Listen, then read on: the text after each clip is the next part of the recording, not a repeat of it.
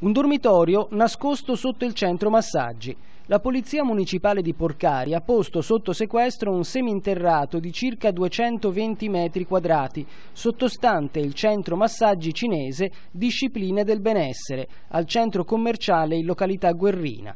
Lo spazio era usato abusivamente come abitazione da alcuni dipendenti del centro.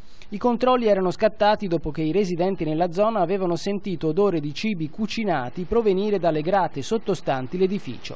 La polizia ha scoperto che il titolare aveva nascosto la porta d'ingresso al seminterrato con un armadio. Sotto lo spazio era stato organizzato come un'abitazione clandestina, con due camere, una cucina e altri locali. Il tutto ovviamente senza i requisiti di abitabilità e senza il minimo rispetto delle norme di sicurezza. La municipale, su mandato della Procura, ha quindi proceduto al sequestro del seminterrato. Denunciato il titolare del centro massaggi. Il centro rimane comunque aperto e in attività. Era stato chiuso lo scorso giugno, ma poi il titolare si era messo in regola.